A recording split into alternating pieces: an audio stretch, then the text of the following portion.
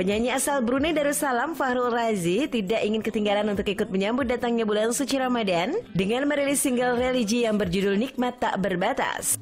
Lagunya tentang nikmat yang tak terbatas. Tapi ayat ala rabbikum atukadziban yaitu Ar-Rahman. Jadi nikmat Tuhanmu yang mana yang kamu ingkari? Di Indonesia ini lagu religi yang pertama dan agaknya ini sesuatu new beginnings ataupun permulaan yang baru bagi diri saya sendiri. Jadi terkesannya agak istimewa ya dan cara saya membawa lagu ini pun banyak emosional atau emosi-emosi yang saya tumpahkan, yang saya tuang ke dalam lagu ini.